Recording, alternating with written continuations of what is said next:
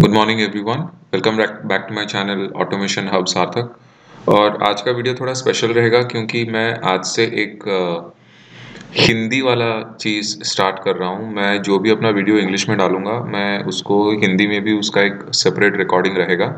उसका प्लेलिस्ट ही डिफरेंट रहेगा, क्योंकि काफ़ी स्टूडेंट्स मेरे, उन्होंने मेरे को बोला कि, सर, आप ज़रा हिंदी में भी डालिए। और कुछ लोगों से मुझे ईमेल वगैरह आया और सजेशंस भी आया कि अगर मैं हिंदी में डालूँगा तो फिर कुछ ऐसे लोग जो मतलब हमारे अलग अलग प्रांतों से आते हैं जो कि उन, उनकी इंग्लिश इतनी स्ट्रांग नहीं है तो उनके लिए मैं हिंदी में स्टार्ट करना चाहता हूँ। तो आज का वीडियो थोड़ा डिफरेंट है क्योंकि आज मैं आपको एक कंप्लीट पिक्चर देना चाहता हूँ कि टेस्टिंग में आपका करियर क्या हो सकता है। जनरली क्या है ना कि लोग सोचते हैं कि टेस्टिंग डेवलपमेंट से थोड़ा नीचे दर्जे में आता है जो कि ऐसा है नहीं। तो आज मैं आपको बताऊँगा कि टेस्टिंग में ऐसा क्या है जो टेस्टिंग में ऐसा क्या करियर बन सकता है आपका जिससे आपको अच्छा रिकॉग्निशन भी मिले और सैलरी भी अच्छी मिले और सब कुछ अच्छा मिले। तो मैं आज शुरू से आपको बताऊँगा। आज के वीडियो में मैं कुछ टेक्निकल चीज़ें बताऊँगा नहीं अ, लेकिन मैं नेक्स्ट वीडियो ऑनवर्ड्स जो भी टेक्निकल चीज़ मैं इंग्लिश में बताऊँगा सेम चीज़। सो so, टिपिकली अगर मेरा चैनल में कुछ अपलोड होगा तो one video will be in English और दूसरा वीडियो हिंदी में रहेगा। अ, ऐसे ही हम लोग आगे बढ़ेंगे। तो आज मैं आपको बताना चाहता हूँ कि आप टेस्टिंग एज ए करियर कैसे प्रोग्रेस कर सकते हैं। ओके तो मैंने एक छोटा सा स्लाइड बना रखा है इधर। तो देखिए पहले अगर आप टेस्टिंग को पूरा अपना करियर बनाना चाहते हैं तो देखिए यहाँ पे मैंने one two three four seven eight से लिखा है लेकिन जावा फॉर सेलेनियम इसको भूल जाइए आप। तो टेस्टिंग में सबसे शुरुआती तौर पे ना आपको पहले मैनुअल टेस्टिंग सीखनी पड़ेगी। अगर आप मैनुअल टेस्टिंग नहीं सीखोगे और डायरेक्टली ऑटोमेशन टेस्टिंग में जंप करोगे तो फिर आपको प्रॉब्लम हो जाएगी। माना ये चैनल मेरा ऑटोमेशन के ऊपर है, लेकिन ये वीडियो जो मेरा है, वो directly testing as a career क्या मायने रखता है, उसको कैसे परसू करना है, उसके बारे में बताना चाहता हूँ। तो फ़र्स्ट एंड फॉरमोस्ट चीज़, आप मैनुअल टेस्टिंग करेंगे। उसके बाद आपको ऑटोमेशन टेस्टिंग में आना है। और automation testing is nothing but आजकल की डेट में हम इसको एस डी ई टी कहते हैं। तो software developer engineer in test something like that मुझे इसका पूरा एक्सपेंशन uh, याद नहीं है। What is S D E T तो आपको पहले मैनुअल टेस्टिंग सीखनी पड़ेगी मैनुअल टेस्टिंग पूरा समझना पड़ेगा। मैनुअल टेस्टिंग आपका बेस बनाएगा कि हाँ सॉफ्टवेयर टेस्टिंग में हमें ये करना है। अब उसको फिर ऑटोमेट कैसे करना है? उसको पहले फिर रोबोटिक चीज़ें कैसे बनानी है? फिर वो ऑटोमेशन टेस्टिंग में आ जाता है। ठीक है? तो ऑटोमेशन टेस्टिंग में पहली एक चीज़ जो हम सब लोग डरते हैं, वो एक है प्रोग्रामिंग लैंग्वेज एक प्रोग्रामिंग लैंग्वेज तो आपको सीखना ही है।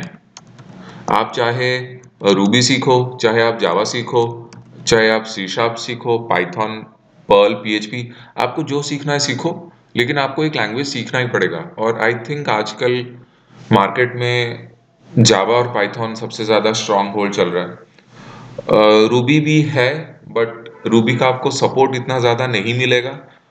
लेकिन Java I think 85 to 90 percent सारे कंपनीज़ में जावा और नौकरी भी जावा पे सबसे ज़्यादा आती है। तो आई थिंक जावा सीख लेना चाहिए और जावा में आपको बहुत ज़्यादा हेल्प मिल जाएगा सपोर्ट मिल जाएगा। जावा में आपको बहुत ज़्यादा ब्लॉग्स मिल जाएँगे। और जावा इतना डिफ़िकल्ट भी नहीं है। Yes Java is a forgettable language regular practice में रहना पड़ता है, नहीं तो जावा के कॉन्सेप्ट थोड़े इधर उधर हो जाते हैं, थोड़ा वास्ट है। बट ठीक है, हमें सिर्फ़ कोर जावा ही करना है, हमें एडवांस जावा नहीं करना। आप डेवलपमेंट नहीं कर रहे हो कि आपको एडवांस जावा चाहिए। कोर जावा कर लीजिए स्ट्रांग हो जाए उसमें। एक्सक्यूज मी तो आपका काम हो जाएगा। ठीक है? अब जावा में क्या क्या सीखना है आपको? देखिए आपको जावा में बेसिक्स जावा प्रोग्रामिंग ही सीखनी है। ठीक है? बेसिक जावा प्रोग्रामिंग सीखनी है कॉन्कैटिनेशन के बारे में सीखना है डेटा टाइप्स के बारे में सीखना है for loop if else while loop के बारे में सीखना है फॉर ईच लूप के बारे में सीखना है। अ, उसके अलावा आपको सिंगल डिमेंशनल अरेज के बारे में सीखना है मल्टी डिमेंशनल एरेज के बारे में सीखना है। ठीक है? उसके बाद आपका जो ऊप्स कॉन्सेप्ट आ जाता है, जो कि बहुत ज़्यादा स्ट्रांग है, आपको फ़ंक्शंस या मेथड्स जो भी दोनों सेम ही हैं, उनके बारे में बहुत अच्छे से सीखना है कि ओवरलोडिंग फ़ंक्शंस क्या होते हैं। ठीक है? उसके बाद आपको ऑब्जेक्ट ओरिएंटेड प्रोग्रामिंग का और डेप्थ वाले कॉन्सेप्ट में आना है, जैसे कि मैं जैसे आपको बोलूँ कि आपको इंटरफेस के बारे में सीखना है, आपको पॉलीमॉर्फिज्म के बारे में सीखना है डायनामिक पॉलीमॉर्फिज्म क्या होता है स्टैटिक पॉलीमॉर्फिज्म क्या होता है फिर आपको इनहेरिटेंस के बारे में बहुत कुछ चीज़ें सीखने को मिलेंगी, आपको क्लासेस एंड ऑब्जेक्ट्स के बारे में बहुत कुछ सीखना है एब्स्ट्रैक्शन के बारे में सीखना है, और आपको ये भी जानना चाहिए कि प्योर एब्स्ट्रैक्शन क्या होता है पार्शियल एब्स्ट्रैक्शन क्या होता है तो ये सारी चीज़ों के बाद आप आप थोड़ा कंस्ट्रक्टर्स के बारे में सीखिए। कंस्ट्रक्टर्स ऑब्जेक्ट्स इम्प्लीमेंट्स और एक्सटेंस ये चीज़ें होती क्या हैं? इन चीज़ के बारे में बहुत ज़्यादा अगर आप स्ट्रांग हो गए, अगर ये कॉन्सेप्ट आपका स्ट्रांग बन गया तो सिलेनियम आपके लिए कोई बहुत बड़ी बात नहीं है। आराम से आप ऑटोमेशन टेस्टिंग कर सकते हैं। ठीक है? उसके बाद थोड़ा कलेक्शन एपीआई के बारे में जान लीजिए। एकदम डिटेल में जानने की ज़रूरत नहीं है। एक्सपीरियंस के साथ धीरे धीरे धीरे धीरे आपको पता लग जाएगा। लेकिन शुरुआती दौर पे लिस्ट के बारे में थोड़ा जान लीजिए। इसमें आपका काम लगभग हो जाएगा। आप कोडिंग करना स्टार्ट कर दीजिए। सो इसमें आपका ज़्यादा टाइम नहीं लगेगा। ठीक है? उसके बाद सेलेनियम uh, सीखने के लिए सबसे इंपॉर्टेंट चीज़ है आप डायरेक्टली सेलेनियम वेब ड्राइवर मत सीखिए। जावा सीखने के बाद आप डायरेक्टली सेलेनियम वेब ड्राइवर मत सीखिए। उससे पहले मैं एडवाइस करूँगा आप टेस्ट एनजी सीख लीजिए। क्योंकि देखिए सेलेनियम वेब ड्राइवर का जब हम लोग छोटा मोटा कोड करते हैं ना हम लोग बार बार at the rate test annotation use करते हैं।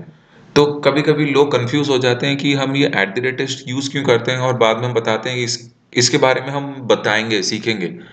तो इससे अच्छा ये है कि आप पहले ही सीख लो।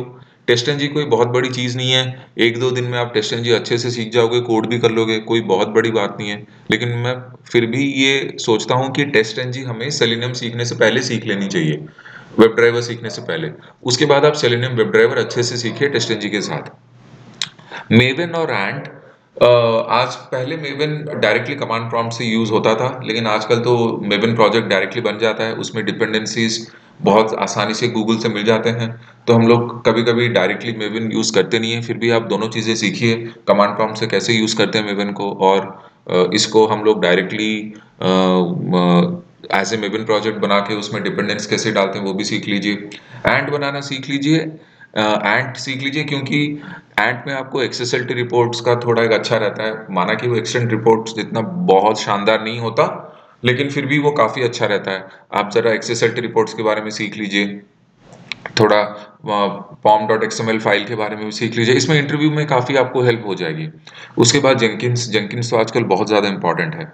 जेंकिन सीखने से पहले मैंने नंबरिंग थोड़ा गलत कर दिया है। ये इसको होना चाहिए था छः और इसको होना चाहिए था पाँच। जेंकिन से पहले आप गिटहब सीख लीजिए। ठीक है। क्योंकि गिटहब एक ऐसी चीज़ है जो कि आपको बहुत हेल्प करेगी कोड को पुश करने में पुल करने में, ये सारी चीज़ें आपको सीख सीखने को मिलेगी। तो आप पहले गिटहब सीख लीजिए। पहले गिट सीखिए व्हाट इज़ गिट फिर आप जेंकिन सीखिए। ठीक है? एक बार आप जेंकिन सीख लीजिए। नॉर्मल आप देखिए आपका कोड रन कैसे कर रहा है, क्या कर रहा है। What is Jenkins what is GitHub code को पुल और पुश कैसे करते हैं, वो थोड़ा अच्छे से सीख लीजिए, क्योंकि थोड़ा सॉफ्टवेयर अलग हो जाता है, थोड़ा कॉन्फ़िगरेशन चेंज होते हैं। सेलेनियम एक ऐसी चीज़ है जिसमें आपको बहुत ज़्यादा कॉन्फ़िगरेशन करनी पड़ेंगी। एनवायरनमेंट वेरिएबल्स प्रॉपर्टीज़ बहुत ज़्यादा सेट करना पड़ेगा। तो इन चीज़ों पे ध्यान दीजिए। उसके बाद आप फ्रेमवर्क डिज़ाइन कर सकते हैं। डायरेक्टली आप फ्रेमवर्क डिज़ाइन पे मत आइए। यूट्यूब पे हर जगह बहुत सारे चैनल्स हैं जो कि फ्रेमवर्क डिज़ाइनिंग करते हैं, लेकिन वो लोग पूरा स्ट्रॉन्ग ऊप्स कॉन्सेप्ट यूज़ करते हैं, फिर रिपोर्ट्स वगैरह बनाते हैं लॉग्स वगैरह बनाते हैं तो उसमें क्या होता है, इंसान कन्फ्यूज़ हो जाता है। तो आप शुरुआती दौर पर सीखिए। और एक चीज़ ये लोग पूछते हैं कि हम कितने टाइम में ऑटोमेशन पूरा सीख लेंगे? ऑटोमेशन आपको पूरा सीखने में कोडिंग के साथ minimum one and half months to two months का टाइम लगेगा। दो महीने बाद आप कॉन्फिडेंट हो सकते हो कि हाँ अभी मैं इंटरव्यू फेस कर सकता हूँ या कर सकती हूँ।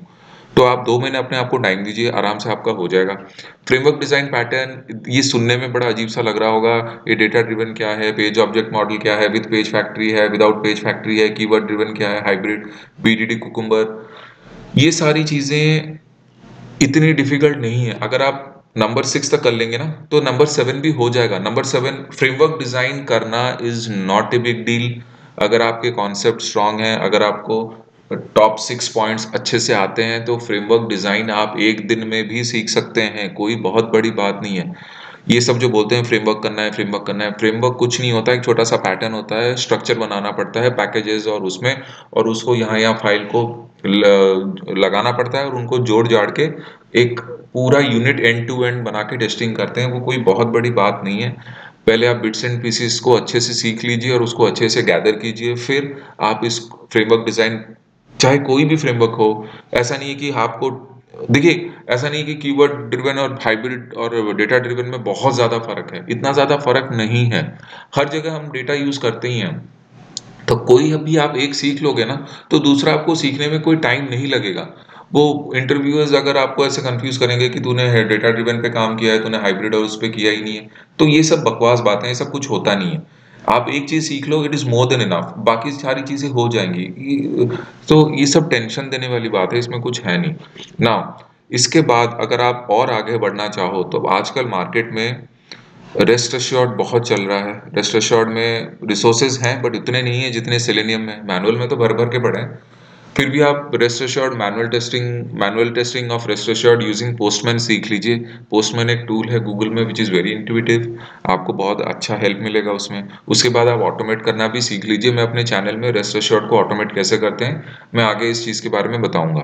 ठीक है, इसके बाद आप, अभी जो मार्केट में बहुत ज़्यादा हॉट है, उसे कहते हैं एपीएम एपीएम के अलावा भी मार्केट में बहुत सारे टूल्स हैं, जैसे कि सेलेंड्रॉइड है आईओएस ड्राइवर है कैलाबैश है। लेकिन एपीएम आप यूज़ कीजिए, क्योंकि एपीएम यूज़ करने पे आपको एंड्रॉयड फ़ोन्स भी आप ऑटोमेट कर सकते हैं और आईओएस फ़ोन्स भी आप ऑटोमेट कर सकते हैं। तो आप एपीएम यूज़ कीजिए, आपके लिए बहुत अच्छा रहेगा करियर बहुत अच्छा प्रोग्रेस करेगा। परफॉर्मेंस टेस्टिंग में लोड रनर और जे मीटर सबसे ज़्यादा मार्केट में चल रहा है। लेकिन आप जे मीटर सीख लीजिए क्योंकि फ्री है। लोड रनर आपको लाइसेंस लेना पड़ेगा, क्योंकि मुझे नहीं लगता कि एक महीने के बाद आपको फ्री लाइसेंस मिलेगा। लोड रनर भी बहुत अच्छा टूल है, ऐसा कुछ नहीं है। आप दोनों चाहें तो सीख सकते हैं। ईटीएल टेस्टिंग भी आप सीख सकते हैं। जिनका डेटाबेस बहुत स्ट्रांग है, जो डेटाबेस जिनको बहुत पसंद है some people have the knack of knowing database much better तो उनके लिए ईटीएल टेस्टिंग बहुत अच्छा स्कोप है, लेकिन हम सबको थोड़ा बहुत ईटीएल टेस्टिंग आना चाहिए। माना कि बिग डेटा हडूप के थ्रू शायद हम लोग पूरा एंड टू एंड इतनी जल्दी ना सीख पाए, लेकिन फिर भी जो लोग ईटीएल टेस्टिंग में जाना चाहते हैं, वो लोग जा सकते हैं। और सिक्योरिटी टेस्टिंग आजकल बहुत ज़्यादा इंपॉर्टेंट हो गया है।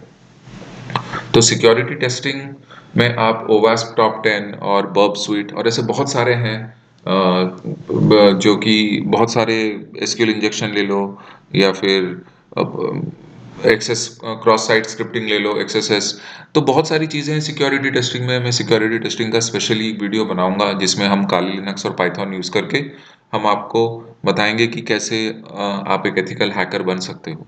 तो ये सारी चीज़ें आप सीखिए. टेस्टिंग में बहुत अच्छा करियर है, बहुत अच्छा फ्यूचर है, और अपने आप को अपग्रेड करते रहिए. अब तो सेलेनियम फोर का बिटा वर्जन भी आ चुका है. हो सकता है उसका फुल एंड फाइनल वर्जन भी बहुत जल्दी मार्केट में लॉन्च हो जाए. तो धीरे धीरे चीज़ें एडवांस हो रही है. ऑटोमेशन में करियर बहुत अच्छा है। आपको सेलेनियम बहुत अच्छा सीखने को मिलेगा, ठीक है? तो आप प्लीज़ प्लीज़ अपने काम पे ध्यान दीजिए और अच्छे से सीखिए। आप जब भी चाहे मुझे मैसेज कर सकते हैं। मुझे आप कॉल कर सकते हैं, कोई दिक्कत नहीं है।